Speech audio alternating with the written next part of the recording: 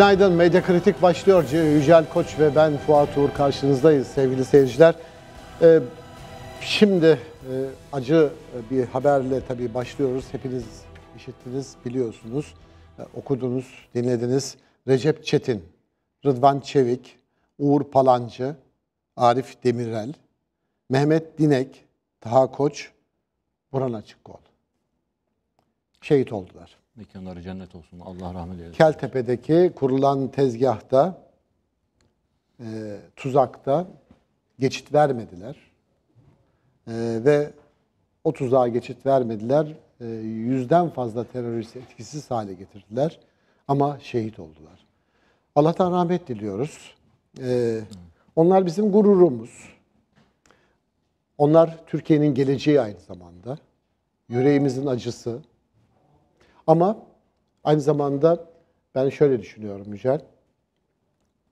Ee, çocuklarımıza bugünden miras bırakacağımız ülkenin de gerçek sahipleri. Öyle görüyorum. Kesinlikle.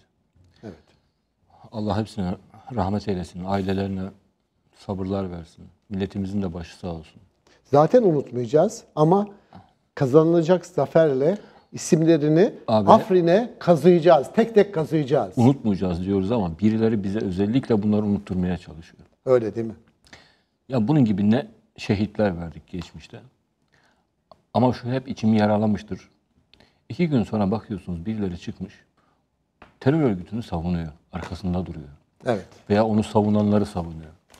Evet. İşte bunu gördüğüm zaman yaralanıyorum. Evet. Benim ülkemde 30-40 yıldır benimle savaşan bir terör örgütüne buna sahip çıkan insanlar olmamalı. Nasıl olabilir böyle bir şey? 40 yıldır benim geçmişte bunlar köyleri bastılar, çoluğumu, tuzu çocuğum, be- kundaktaki bebeklerimizi katlettiler. Şehirlerimizi bastılar, bombaladılar, insanlarımızı katlettiler. Masum insanları, sivillerimizi öldürdüler. Biz bunları anlattığımız zaman faşist olduk. Maalesef yani. Bu böyle dönemler de yaşadık. Evet, maalesef evet. elbette şu oldu. Terörü bitirmek için bir takım hamleler yapıldı. Bunlar denendi. Sayın Cumhurbaşkanımız ne demişti? Siyasi geleceğimi tehlikeye atmak pahasına, gerekirse bunu bedel ödeyerek. Eğer bu terörü bitirmek için çözüm buysa bunu da deneyeceğim dedi. Sonuna kadar da gideceğim dedi. Ve nihayet bu iradeyi gösterdi. Ne oldu peki sonuç? terör örgütünün ihanetini artık o bölgedeki Kürt vatandaşlarımız da gördüler. Ne zaman ki onu gördüler, terör örgütüyle bizim yıllardır yapamadığımız, onlarca yıldır yapamadığımız şey gerçekleşti. Terör örgütüyle, teröristle Kürt vatandaş ayrıldı birbirinden. Bugün HDP miting yaptığı zaman kimseyi bulamıyor. 3-5 tane adam ancak toplayabiliyor. Neden? Çünkü orada O yaşayan umudu halk kaybetti çünkü halk. gerçeği gördü. Gerçeği Anladı. gördü ve umudu kaybetti. Barış'ın hep dillerinden düşürmedikleri Barış'ın bu örgütle olmayacağını acı bir şekilde idrak etti. En başta o terör örgütünün bir numaralı düşmanının kendisi olduğunu gördü. Çocuğu kaçırılan o, zorla dağa çıkarılan o, her türlü başından en kötü şeyler geçen yine oradaki Kürt vatandaşlarımız oldu. En büyük, an- en ağır bedel aslında Türkiye'deki Kürtler ödedi PKK'da. Evet. Aynı şey Suriye'de de oldu. Bu vahşi terör örgütü ne zaman oraya adım attı? Bazı yalanlarla, kamuflajlarla. Sonra gerçek yüzünü gösterdi. Evet.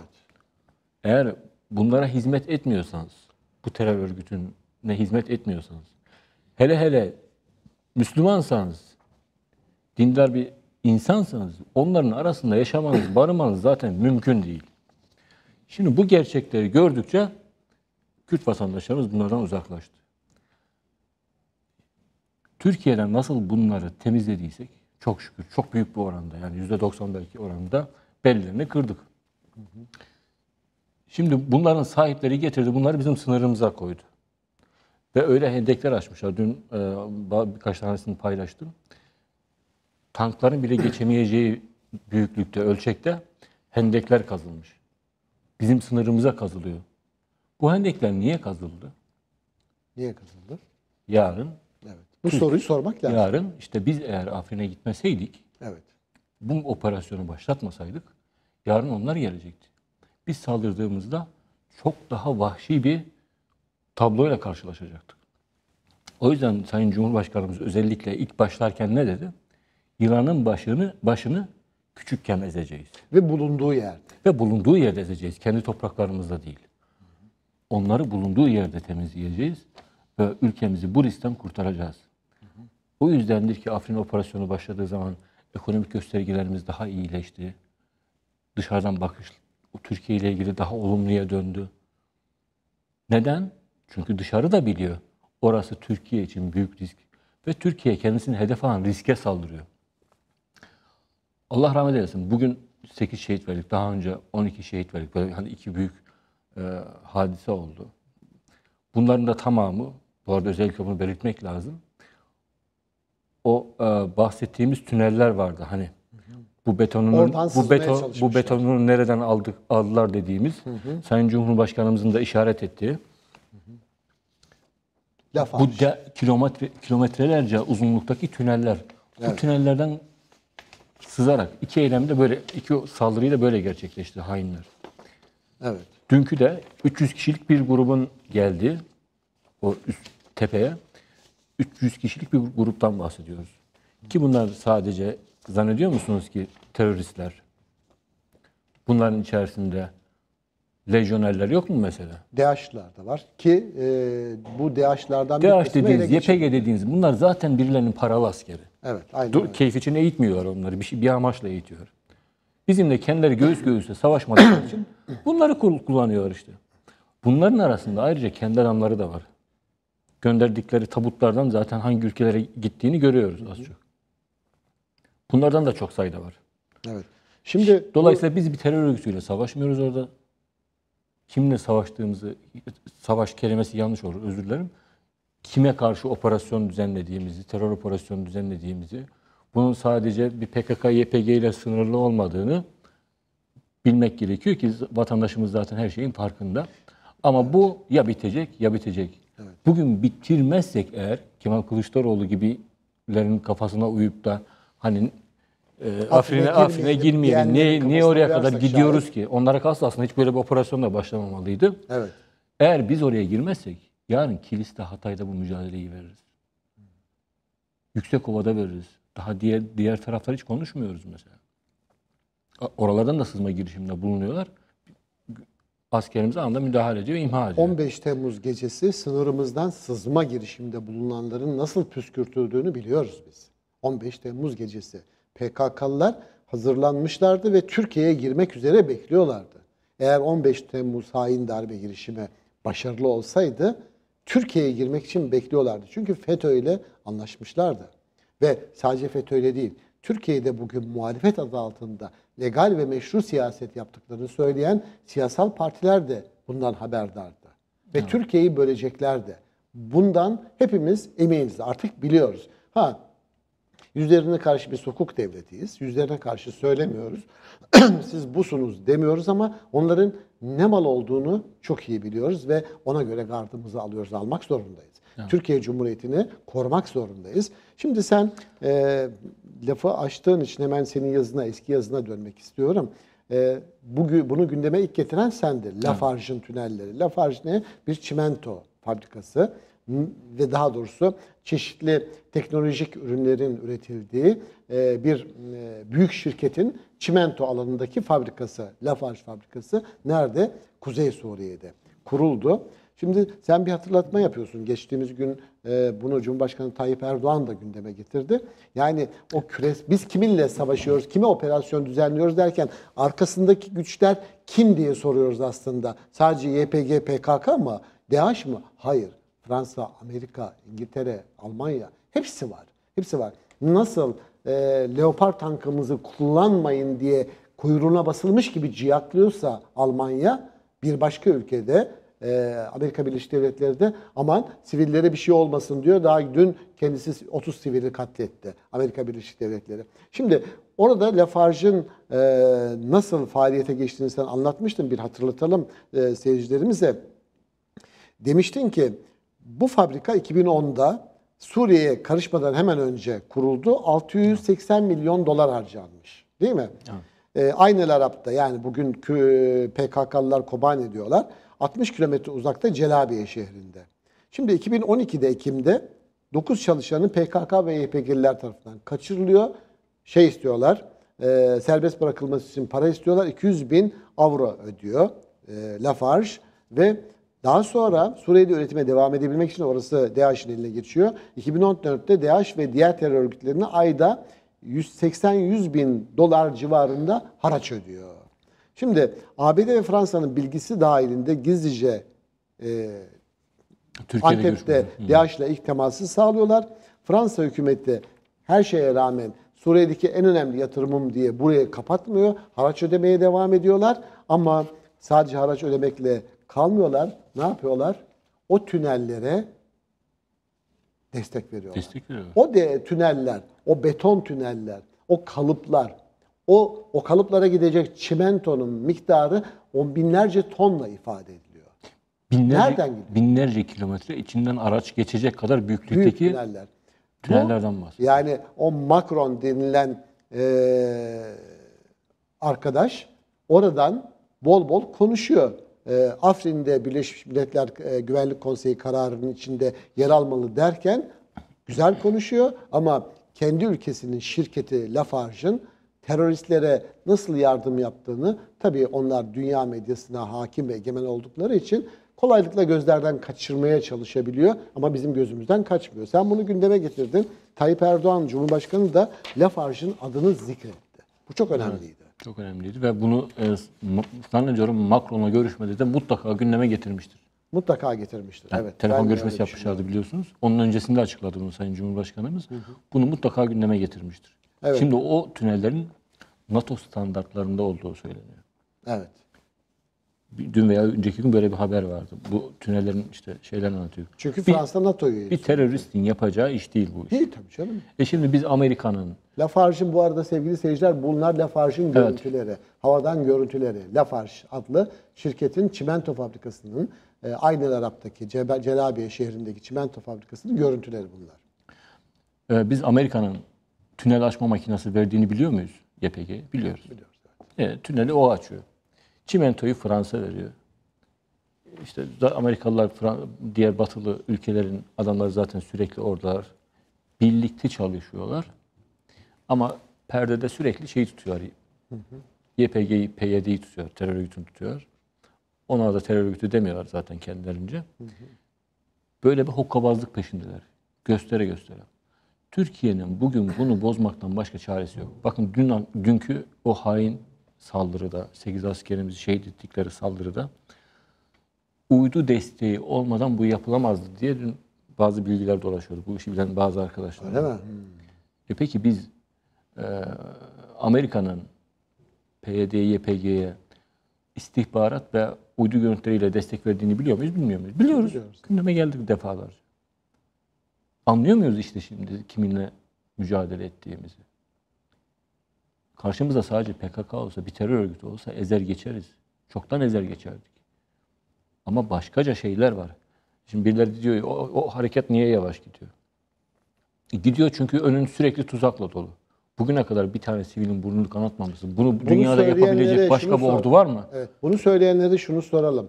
Suriye'nin Rus desteğinde Doğu Guta'da, Batı Guta'da yaptıklarını yapalım mı? İsterler mi? Bu istenir mi? Türkiye bir sivilin burnunun kanamaması için gerekirse şehit veriyor. İşte hatırlattım. Dün, önceki gün gece Amerika, Irak, Suriye sınırında operasyon yaptı. Kadın ve çocukların da arasında bulunduğu 30 kişi sivili öldürdü. Dünyada hiçbir yerde konuşuldu mu bu? Hiçbir yerde konuşulmadı. Bitti, Konuşulmadı. kayboldu gitti konuşulmuyor. Yok. Ama Türkiye yapmadığı halde fotoğraflar yayınlanıyor dünyanın her bir tarafındaki medyada. Her yerde onlar gösteriliyor. Yani Cumhurbaşkanımıza, Başbakan'a bile utanmasalar o göstermeye kalkıyor. Biliyorsunuz Almanya'da Sayın Başbakanımıza göstermeye kalktılar. Ağzının cevabını aldı. Yalan olduğunu bile bile yapıyorlar bunu. O yüzden bizim bizim mü- mücadelemizin eee sadece bir terör örgütüyle olmadığını çok güçlü bir şekilde aslında dünyaya duyurmamız lazım, anlatmamız lazım. Bunların ipliğini pazara çıkarmamız lazım. Bir, o Fransız şirketi işte Lafarge e, terör örgütü DAEŞ'e rüşvet veriyor yani daha ben, Daha ben bana yok, burada gözüm göz yum diyor. Ben sana diyor rüşvet ödeyeyim diyor. Milyonlarca rüşvet ödüyor. Bunu bir başka ülke yapsaydı ne olurdu? Ya, Türkiye gibi bir ülkenin böyle bir şirketinin böyle bir şey yaptığı tespit edilseydi. Dünyada yer yerinden oynardı. En başta bizim içimizdeki hainler zaten bunu olabildiğince köpürtürlerdi. Aynen. Nasıl ki Türkiye DAEŞ'e yardım ediyor, El-Kaide'ye yardım ediyor diye yıllardır tekrar tekrar tekrar tekrar söylüyorlar. Ki bu düşünebiliyor musunuz? Bu ülkenin ana muhalefet partisinin başındaki adam yardımcıları söylüyor bunu. Biz bu kadar kuşatılmış bir ülkeyiz işte yani neyi kırmaya çalıştığımızı, hangi zincirleri kırmaya çalıştığımızın farkında olmamız lazım. Lafarge'ın e, YPG desteğini e, Fransa'nın e, Le Monde gazetesinde, Le Figaro gazetesinde, Liberation'da ya da L'Humanitesinde yani e, sağından soluna kadar, komünistine kadar hepsinde okuyamazsın. Göremezsin. Ha görsen bile bundan övünerek söz ederler. Çünkü YPG'yi kutsuyorlar. Terörizmi kutsuyorlar. Ama tabii buna bir yandan bunu yaparken bu medya, Batı medyası ve içimizdeki, bizim içimizdeki e, onların zehirlediği, kolonyalist fikirlerle zehirlediği, zihinlerini yok ettiği sömürge aydınları da onlarla birlikte YPG'leri kutsamaya devam ediyorlar. Şimdi e, Özür dilerim. Bu biraz unutulsun. Mesela şu Afrin operasyonu bitsin. Bu terör örgütüne yine imza toplayan akademisyenler çıkmayacak mı bu ülkede? çıkacak tabii. canım. Onlara dokunduğumuz zaman kimler tepki verecek? Evet. İşte problemimiz bu bizim. Şimdi gerçekten de e, bu operasyon yapılmasın diye unutturmayalım. İmza toplamadılar mı? Çeşitli Aydın adı altındaki o- isimler. onlar da sureti haktan görünüyor. Şehitlerimizi unutmayacağız diyor değil mi? Göreceğiz bakalım kim unutuyor, kim unutmuyor. Yarın bunları yüzünüze vuracağız o zaman. Bir de şu var bak. e, şehitlerimizi siyasi ranta kurban etmek isteyen bir takım sapıklar var. Sapık diyorum. Siyasi sapıklar bunlar. Şimdi bunlar iyi Parti mensupları. Afrin şehitleri üzerinden ülkemize operasyon çekiyorlar. Ve yalan yanlış haberler yayıyorlar. Şimdi bizim askerlerimiz, JÖ, PÖ, Jandarma Özel Harekat, Polis Özel Harekat girdiler oraya değil mi? Özgür Suriye Ordusu mensupları da oradalar. Şehitler verilebiliyor. Yani Allah rahmet etsin onlara ve onlar dediğimiz gibi bizim gururumuz, acımız, yüreğimizin acısı ama aynı zamanda Türkiye'mizin geleceği onlar. Şimdi ama bunu siyasi ranta çevirmek isteyen İyi Parti, İyi Parti'nin üyeleri tutuyorlar, tweet atıyorlar, mesaj paylaşıyorlar. Diyorlar ki daha hiçbir bilgi gelmeden ortalığı bulandırıyorlar. Sanki o şehitlerimize üzülüyor, üzülüyormuş gibi yapıyorlar ama aslında bu operasyonun nasıl olmaması gerektiği konusunda bilinçaltına mesaj gönderiyorlar. Diyor ki Mehmet Aslan, 34 şehit var deniliyor. Afrin'de doğru mu bu? Allah'ım sen koru yalan olsun. Sahtekarlıktan ölüyorsun bunu yazarken. Yalan olsun derken adeta Gerçek yalan olsun. söylüyorsun. Gerçek olsun der gibi söylüyoruz. Gerçek olsun der gibi söylüyorsun. Şimdi bu tür İstem- konularda istemeyen insan- Genelkurmay Başkanlığı'nın açıklamasını bekleyeceksin arkadaş. Kesinlikle. Bekleyeceksin. Tevatürü dillendirmeyeceksin. Sorumluysan, hele bir siyasi parti mensubuysan, Ruhat Mengi de bu arada İyi Parti mensubu olmuş. Haberin var mı? Benim yoktu. Ha, Yeni bu, öğrenmişim. bu acıya nasıl dayanılır? Reyhanlı'da İyi Parti olarak şehit evlerini ziyaret ettik. Anıların gözyaşı dinmiyor. Allah gencecik askerlerimizi korusun. Bir yanda bu dram yaşanırken Afrika seyahati olmalı mıydı? Bak. Nereden fitne, nereye bağlıyor? Fitne. YPG'lilerin ekmeğine yağ sürmek üzere söylenen sözler. Bunlar fitne. Tamamen fitne üzerine kurulmuş bir partiden söz ediyoruz. İyi Parti adı. Tamamen fitne. Şimdi Allah korusun da 34 şehidin olduğunu bilsen Evet. bunu söyler misin abi? Yani ben Türkiye Genelkurmay Ya düşmanımı sevin isterim. düşmanımı sevindirecek bir şeyi ben niye söyleyeyim, niye anlatayım? Ya, şehit annesi babası bile ağlamıyor, dik duruyor. Niye yapıyor bunu? Düşmanı sevindirmeyeyim diyor. ne diyor? Şehit Acısına rağmen bunu bir yaparken- başka, bir başka oğlum daha var. Onu da göndereceğim. Onu da Gerekirse göndereceğim. ben diyor. gideceğim. İşte bu moraldir, ülke sevgisi, vatan sevgisi budur. Evet. Bunu gerektirir. Böyle zamanlarda böyle durman gerekir. Bunu vatandaşımız, şehidimizin annesi babası yüreği yandığı halde söylüyor iken sen olmayan şeyi oradan yayarak ne yapmaya çalışıyorsun? Farz et ki doğru ya. Yine söylememen lazım kardeşim. Evet. Eğer vatan seversen sen bunu söyleyemezsin. Eğer bunu söylüyorsan da vatan severim diyemezsin. Hiç kusura bakma. Diyemezsin. Hiç kimse Niye? kusura bakmasın. demek. Sen çünkü sen bunu Türkiye Türkiye'de sevinçle karşılanacak bir şey mi var ortada Ha- Allah korusun. Karşı tarafı sevindiriyorsun. Sen oraya çalışıyorsun işte yani bu a- apaçık bir gösterge. Daha ne yapman gerekiyor ki senin? O terörist bile verdikleri kayıplar 2200 222'yi geçti. E, 100 tanesi de gebertildi dün gece. Kandil telsiz konuşmalarını yasaklıyor moralimiz bozulmasın diye. O Allah'ın teröristi bile kendine göre önlem alıyor. Sen burada bu ülkede e, ci- e, ciddi bir durumla karşı karşıyayız. Bir operasyon yürütülüyor. E, en azılı, en örgütlenmiş, en e, komplika cihazlarla desteklenmiş bir örgütle mücadele ediyorsun. Burada lay lay lon peşindesin. Ne? Acaba bunları söylersem e, herkes halk bu operasyona karşı çıkar da yani bu operasyonun yeri miydi, zamanı mıydı, ne oluyor, şehitler veriyoruz der de isyan eder. Beklentisiyle sahtekarlık yapıyorsun. Erdoğan da Erdoğan da yıpranır. Ha bu arada finalde. Afrika seyahati olmalı mıydı? Ha tamam güzel. Her şey dursun. Öyle bir şey olur mu ya? Bu ülkede bir çark dönüyor. Bir yandan biz büyük ülkeyiz. Bir yandan operasyonu götürürüz. Bir yandan da çarklarımız döner. Bir yandan da hayat devam eder. Devam edecek. inadına devam edecek. İnadına çarklar dönecek. İşte ihracatımız %14 civarında artmış.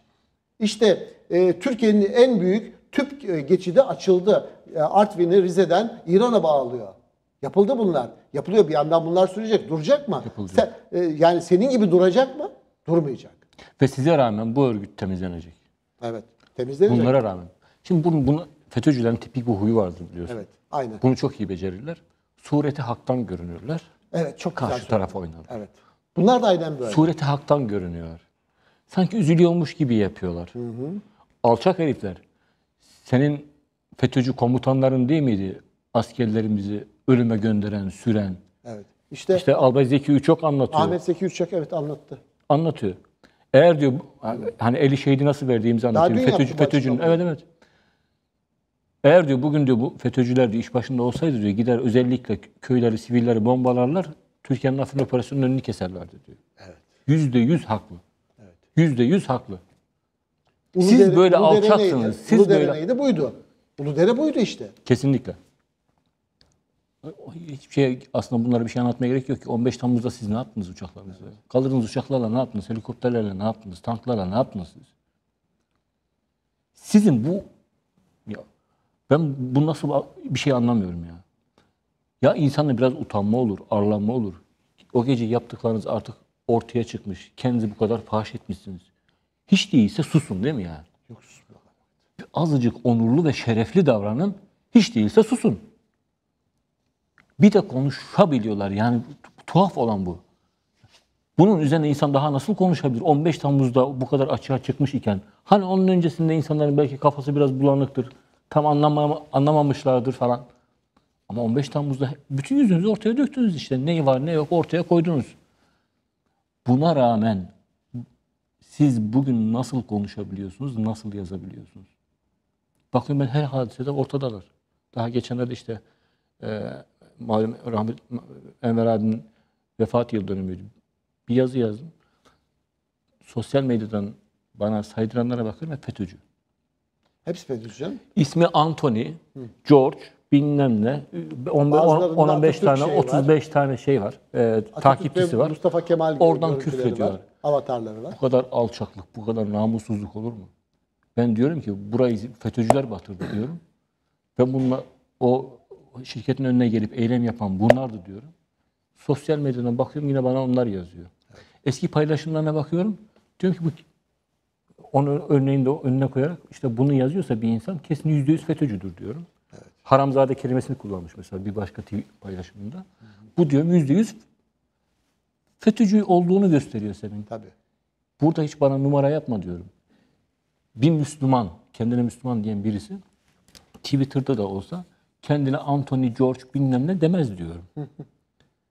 Bunu ancak kendine Anthony George ismini yakıştıran olsa olsa FETÖ'cü yapar. Bir başka Müslüman, bu ülkede yaşayan bir Müslüman kendine mahlas isim olarak bile George'u takmaz diyorum. Ama bakıyorum utanmadan yazmaya devam ediyor. Bunlar böyle arsız, böyle aşağılık insanlar. Şimdi bak e, Vedat Yenerer diye bir Ergenekon'da zamanında yargılanmış ve e, tahliye edilmiş bir isim var. Gazeteciydi bu. Tanıyorum tabii ki. E, Mehmetçik TV diye bir te- televizyon istasyonu. Bak enteresan. Şehit sayımızın 10 olduğu haberi hastane kayıtları kayıtlarıyla geldi. Alınamayan cenazelerimizin olduğu haberini aldım. Yaralımız çok. Allah Mehmetçiğimizi kalleş PKK'lara mücadelede korusun. Yine sureti haktan görünme. Bırakın bu işi. Ne oldu şimdi? Genelkurmay Başkanlığı açıkladı. 8 şehidimiz var. Yani. Hani hastane kayıtları? ben bu tür konularda Türkiye Cumhuriyeti Genelkurmay Başkanlığı'nın verdiği bilgiye inanırım. O bilgi gelmeden de hiçbir şey söylemem. Hiçbir şey söylemem. Bak böyle bir şey Amerika'da olsaydı adamı asarlardı. Yaşatmazlardı. Yani Cem'in deyimiyle e, siyasi ölü haline getirirlerdi. Şimdi böyle olmaz. Böyle e, şimdi bu İyi Parti ile ilgili bir şey yazıyoruz. Senin dediğin gibi altında FETÖ'cüler saldırmaya başlıyor. Kesinlikle. Yani ne zaman İyi Parti ile ilgili bir şey yazsam FETÖ'cüler İyi Parti'yi savunmaya başlıyor.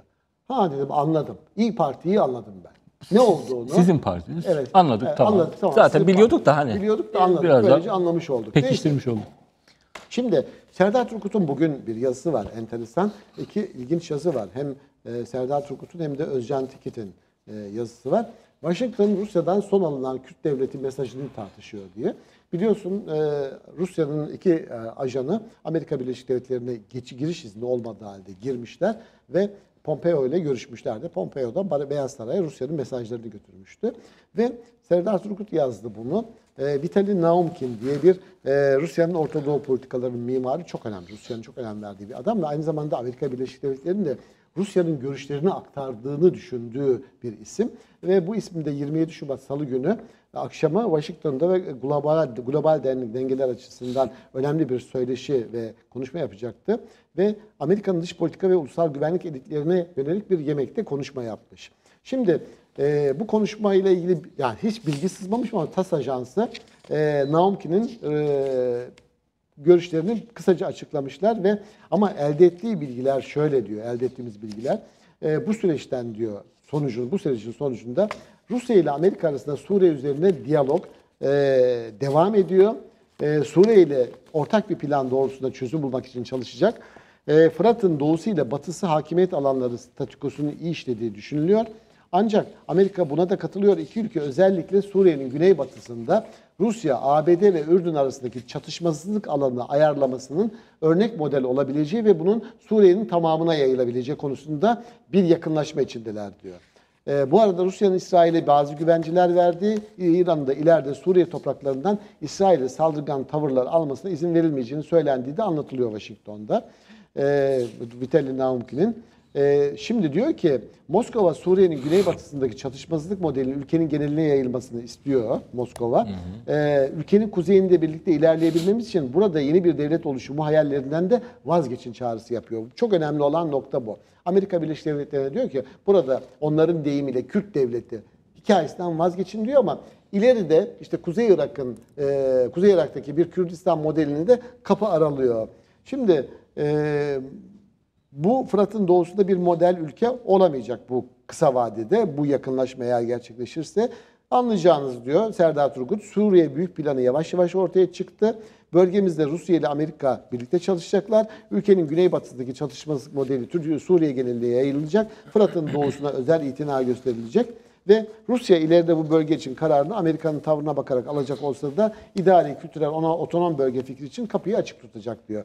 Şimdi olay bu şekilde cereyan ediyor ve Rusya kendisinin Şam'ın daveti üzerine ülkede bulunduğunu vurgulayarak Amerika'nın Suriye'deki varlığının sorgulanması gerektiğini de bu arada gündeme getiriyormuş pazarlıklarda.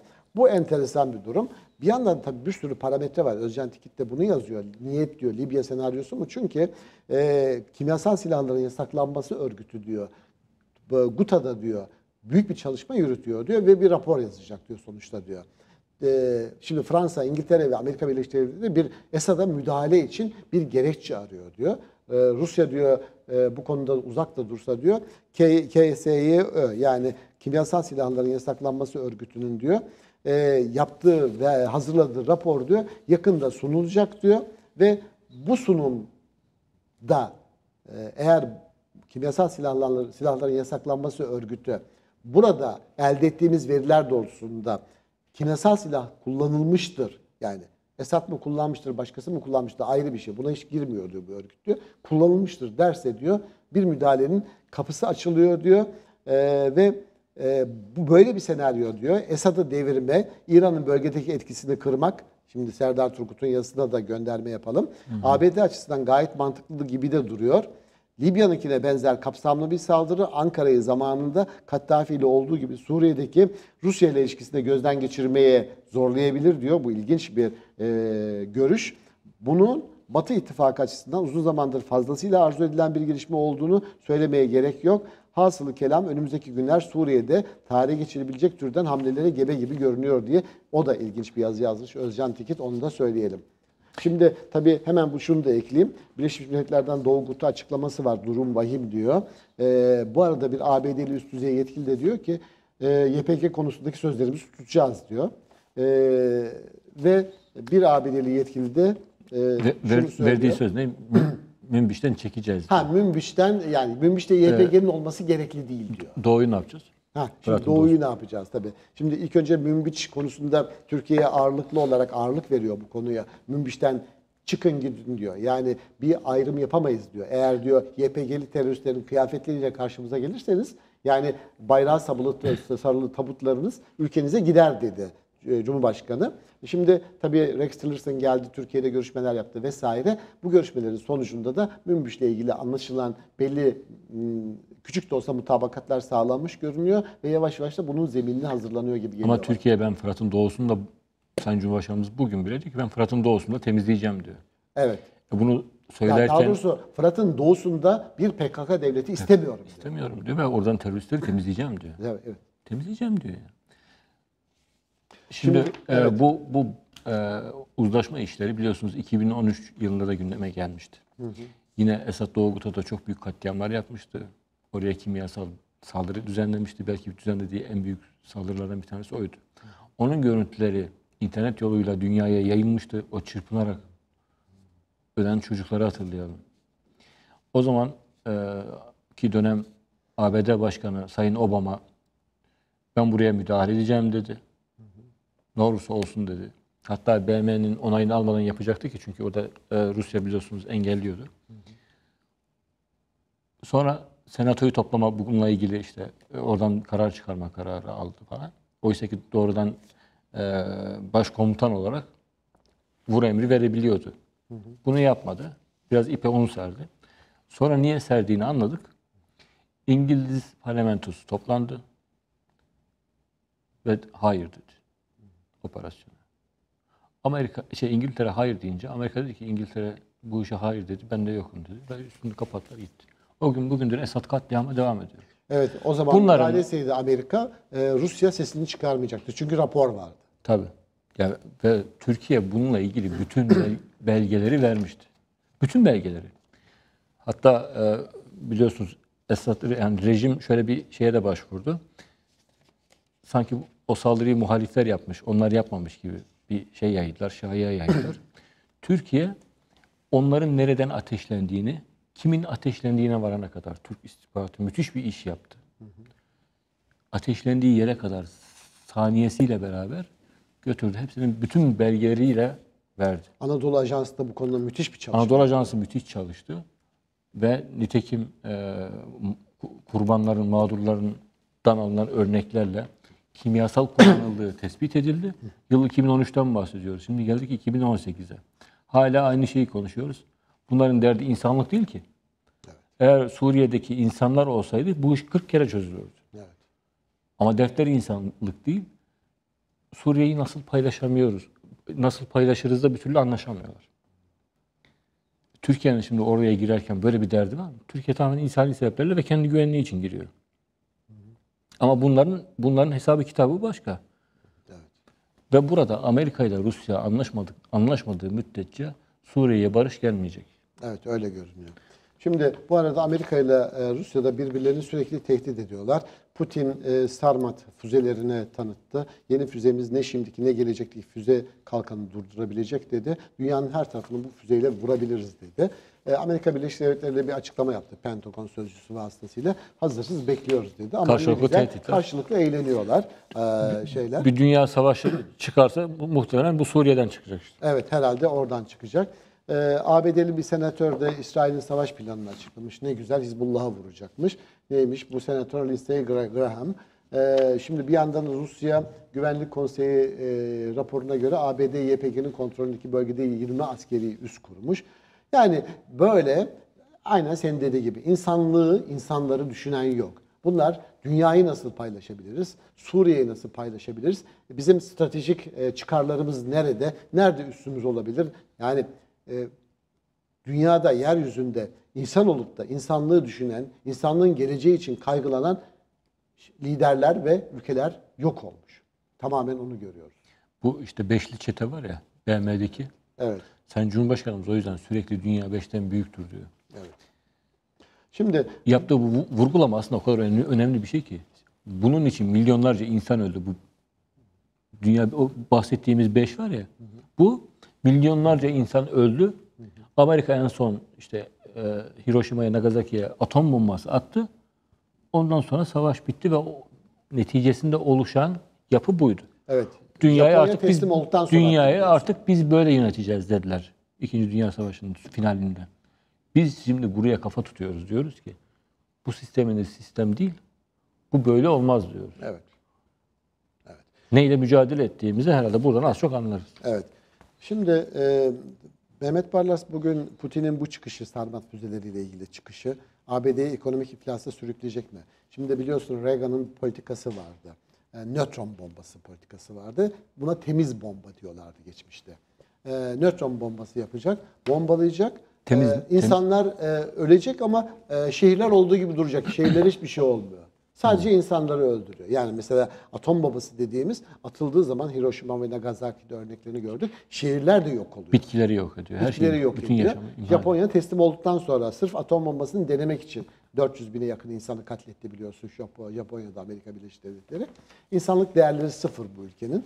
Ee, ve şimdi tabii e, bu Reagan'ın işte Yıldız Savaşları projesi, nötron bombası, Rusya'yı o zamanki Sovyet Sosyalist Cumhuriyetleri adı altındaki Rusya'yı öyle bir telaşlandırdı ki zaten ekonomik olarak dar boğazda, boğazdaydılar. Dünyanın dört bir tarafına yetişirlerken bir yandan da Amerika'nın e, ekonomik saldırılarıyla baş etmeye çalışıyorlardı. Ve sonuçta onlarla mücadele edecek silahlar geliştirin, geliştirin filan falan derken ekonomi battı. Glasnost, Perestroika dediler e, Gorbaçov aracılığıyla. E, yiyemedi. O da e, sağlamadı, e, kurtaramadı e, Sovyetleri. Sonuçta dağıldı. Şimdi diyor ki Mehmet Barlas da bu sefer bu işin tersi mi olacak diyor. Putin diyor Sarmat füzelerinden bahsediyor. Amerika bunun tam karşı karşısında yeni füzeler geliştirecek. Ha babam de babam silahlan silahlan. Ekonomiler güme gidecek. İnsanlar güme gidecek. Yani bütün bu e, meselenin aslında e, bu silahlanmanın insanlığın hayrına olmadığını hepimiz biliyoruz. Kesinlikle. Bütün dünya biliyor.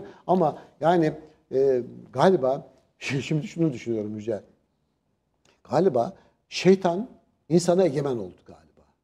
Daha da olacak. Evet, Çünkü ahir yani zaman. ben böyle algılıyorum. Yani e, ülkelerin liderleri de insan değil mi? Onlar birer uzaylı yaratık android değiller yani. Hani nasıl nasıl bir e, bu dünyamızın bir tane olduğunu ve dünyamızın geleceğinin ancak insanlığı kurtarmakla mümkün olabileceğini neden idrak edemiyorlar? Ben şaşırıyorum. Tabii bu kadar afaki ve hayalci sözler söylüyorum şu anda biliyorum. Herkes de gülüyordur. Ama gerçekten bunu nasıl düşünemiyorlar? Nasıl insanlığın geleceği için bir araya gelemiyorlar? Nasıl hala silahlanabiliyorlar? Ve Doğu Guta'da, dünyanın dört bir tarafında, Myanmar'da, orada, burada niçin insanlar ölmeye devam ediyor? Ben bunu hakikaten şeytan insanlığı ele geçirdi diye bakıyorum. Hayal, hayal görmüyorsunuz. Hayalci de konuşmuyorsunuz. Dünya zaten oraya gidiyor. Medeniyetin imhasına gidiyoruz aslında biz hızla. Ee, geçenlerde ben bu hadiseyi yazdım. Ee, zannediyorum geçen Ağustos, geçen yılın Ağustos ayıydı. Facebook'un e, yani Silikon Vadisi'nin daha doğrusu Amerika'daki Silikon Vadisi'nin zehir beyinlerinden bir tanesi. Terk etti Silikon Vadisi'ni. Kanada kıyılarında bir ada satın aldı. Adada bir arsa satın aldı daha doğrusu Kanada'ya yakın. Tamamen kendi kendine yetebilecek şekilde orayı tasarladı ve orada yaşamaya başladı. Daha sonra BBC bununla röportaja gitti. Dedi Ha ki, evet okudum evet çok şimdi hatırladım. evet. Hayırdır senin derdin ne? Niye buraya geldin? Dedi ki insanlık felakete gidiyor. Medeniyet çöküşe gidiyor. Ben dedi yarından geldim. Yani yarından geldiğimde herhalde kasıt belli. Evet. Geleceğin teknolojilerinin insanlığı nereye getireceğini görüyor. Dehşete düşüyor ve diyor ki ben yalnız yaşayayım. Eğer işler çok kötü giderse belki buradan hatta yüzerek Kanada'ya geçebilirim falan diye öyle bir ko- konumlandırmış. Ama bu adam tek değil üstelik. Bunun gibi çok böyle teknoloji uzmanları Silikon Vadisi'ni terk edip yalnız yaşamaya başladı. Ama teknolojiyi yönetenler vahşi bir şekilde bu işi geliştirmeye devam ediyor. Ve bunun şunu çok iyi bilmemiz lazım. Burada kesinlikle insanı öne alarak bu teknolojiyi geliştirmiyor. Tam tersine ileride insanları avuçlarının içine alacakları, onları yönlendirecekleri bir yöne gidiyor. Hani o filmlerde, bilim kurgu filmlerinde izliyorduk be. Robotlaşmış insanlar. Araba bile kullanamıyorsun. Araba çünkü kendi kendine gidiyor. İnsanın kullanması yasak. Sen sadece yolcusun. Orada sana verilen işler varsa onları ne yapıyorsun? Onların söylediğini yiyorsun. Onların söylediğini yapıyorsun falan. Biz buraya gidiyoruz. Ee, Cüneyt Zapso onda yazmıştım. Davos'ta Bloomberg'e konuşuyor. Dehşet şeyler dinlediğini anlatıyor. Diyor ki Davos'ta, Son Davos'ta. Davos'ta sene 90'da diyor Bill Gates bize diyor akıllı telefonları göstermişti. Daha Türkiye'de telefon yokken 5 yıl sonra çıkacak Türkiye'de telefon, cep telefonu. Bize akıllı telefonları anlattı diyor 90'da. Ve şimdi İsrail'i bir işte e, yazarın ismini hatırlayamadım Hari, Harari. Evet. Onun anlattıklarını anlatıyor. Diyor ki bu şu an yaşayan insanlar son özgür ve bağımsız insanlar. 20-25 sene sonra bizim çocuklarımız, torunlarımız özgür bir hayat yaşayamayacaklar. Bununla ilgili geçen hafta biz e, Başbakan Yardımcımız Fikri Işık gelmişti. Bunun üzerine de geniş geniş sohbet ettik. Bu hafta sonu da inşallah ondan bir şeyler yazacağım. E, Türkiye'de aslında e, değişen teknoloji aynı zamanda fırsat getiriyor. Türkiye bir sanayi devrimini kaçırmış. Ama şimdi işte dördüncü nesil dediğimiz bu devrimi eğer yakalarsa Türkiye burada çok avantajlı olacak. Niye? Bir öncekine yatırım yapmadı ya. Dolayısıyla avantajlı duruma geçecek. Orada önemli bir şey söylemişti. Onu da buradan paylaşmakta mahsur görmüyorum. Rusya'nın e, bir lazer silahı geliştirdiği ve bununla uzayda istediği uyduları imha ettiği yönde haberler çıktı. Rusya böyle bir silah geliştirmiş. Öyle mi? Şimdi bu, bu Amerikalıları panikletti mesela. Şimdi uydun vurulduğu zaman sen neyle hareket edeceksin? Haberleşme uydularını Her, vurdular şey- mesela. her şeyin ona bağlı. Dolayısıyla karasallığın kıymeti çıkacak ortaya. Bunları da muhafaza etmen gerekiyor. Yani bugün bile telsiz sistemini, radyoyu bir şekilde muhafaza muha- etmek muhafaza gerekiyor. etmek Bravo, gerekiyor. Evet, çok doğru. Çünkü- yani hani evvelden e, cep radyoları vardı yanımızda taşırdık vesaire onların hala devam etmesi gerekir aslında. Şimdiki e, meşhur filozofumuz söyleyeni hatırlayamadım. E, Üçüncü Dünya Savaşı neyle yapılacak bilmem ama dördüncüsü kesinlikle kazma küreklerle yapılır. Öngörüsü var. İşte hakikaten buna gidiyoruz. Yani Üçüncü Dünya Savaşı muhtemelen e, müthiş şeylerle, silahlarla yapılacak. Ama anlatılan hep şey- şu, şudur biliyorsunuz. Medeniyet belli bir noktaya geldi, geldi, geldi artık vahşi bir noktaya ulaşınca yıkıldı. Yeniden kuruldu. Yıkıldı, yeniden kuruldu. Dünyanın böyle bir düzeni var herhalde. Biz şimdi yıkıma doğru gidiyoruz gözüküyor. Evet şimdi yıkıma doğru giderken e, güncel gerçeklerimize dönelim. E, şimdi AK Parti ile Saadet Partisi ittifaklar siyasetimize dönelim. AK Partisi, Saadet Partisi Mustafa Şentop, Temel Karamollaoğlu ile, Mollaoğlu ile görüştü. İyi Parti zaten onlarla birlikteler.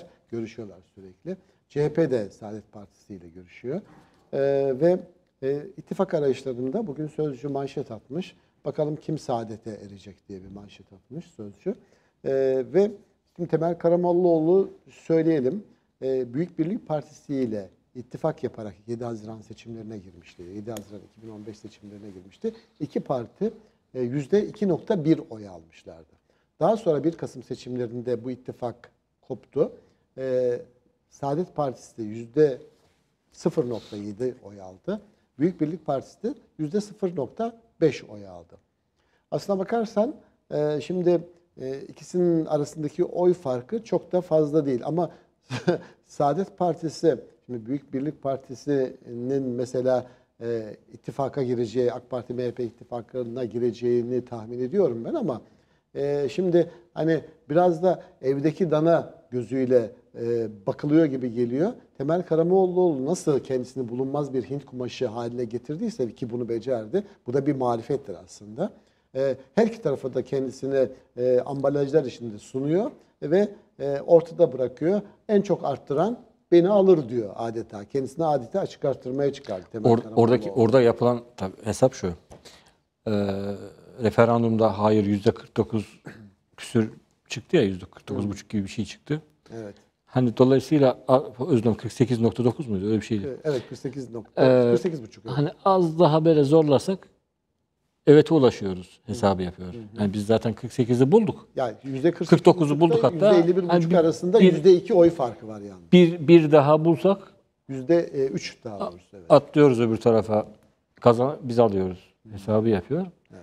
Bir kere küçük küçük hani e, bu evet tarafından ne koparırsak kar hoş saadet zaten evet tarafında da değildi. O da ayrı bir mesele de. Ne koparsak kar hesabı. Evet. Bu birincisi. İkincisi bence daha büyük bir hesap var geri planda. E, muhtemelen Saadet e, Abdullah Gül ile ilgili bazı şeylerde bulunuyor.